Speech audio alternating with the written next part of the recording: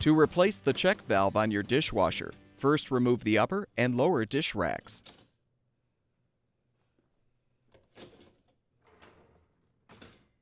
Next, hold both ends of the lower wash arm and pull the assembly out.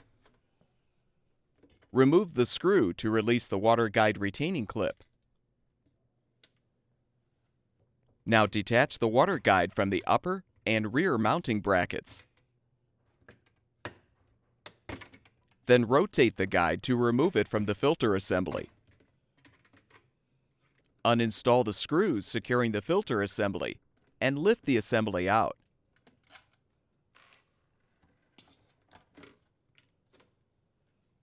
Pull out the old check valve if still intact. Install the new check valve by inserting it into the slot in the drain pump inlet port. Make sure the gasket is in place on the lower pump housing. Then reposition the filter assembly and secure it with the screws.